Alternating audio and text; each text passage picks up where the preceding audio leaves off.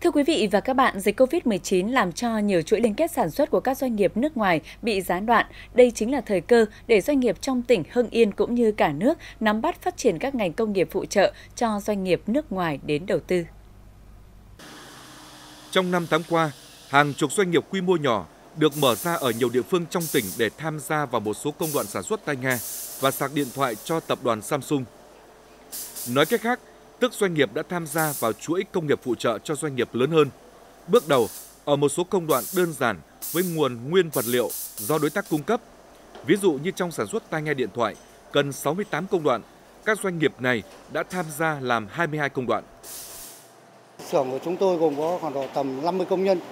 đang sản xuất và toàn người địa phương mà tổng thu nhập hàng tháng bình quân tầm thấp nhất là 5 triệu, còn cao thì 7 đến 9 triệu. Mỗi năm các doanh nghiệp may trong tỉnh Hưng Yên xuất khẩu hàng trăm triệu sản phẩm đi các nước. Điều này đồng nghĩa cũng có từng ấy các móc trao quần áo được xuất khẩu đi kèm. Hiện đa số móc trao được doanh nghiệp Việt tại thành phố Hồ Chí Minh sản xuất vận chuyển ra. Nếu doanh nghiệp trong tỉnh Hưng Yên tiếp cận, chúng ta sẽ có lợi thế về chi phí vận chuyển để cạnh tranh. Tới câu chuyện cây móc nhựa này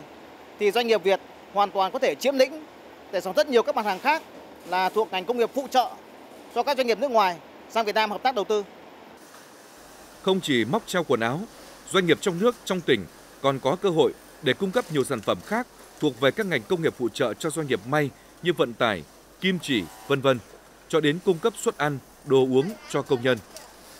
Khu công nghiệp Thăng Long 2 có trên 23.000 lao động đang làm việc tại 70 dự án, chủ yếu của Nhật Bản với số vốn đầu tư 2,5 tỷ đô la Mỹ. Đây là thời cơ cho các doanh nghiệp địa phương hợp tác phát triển các ngành công nghiệp phụ trợ theo chuỗi logistics.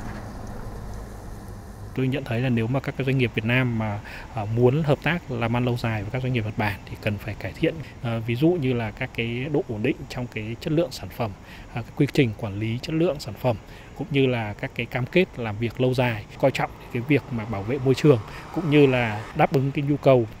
tốt cho người lao động. Điều này cho thấy cơ hội phát triển công nghiệp phụ trợ không chỉ phụ thuộc vào nhu cầu của thị trường, mà còn do chính doanh nghiệp Việt tự nắm bắt và tạo ra thời cơ cho mình.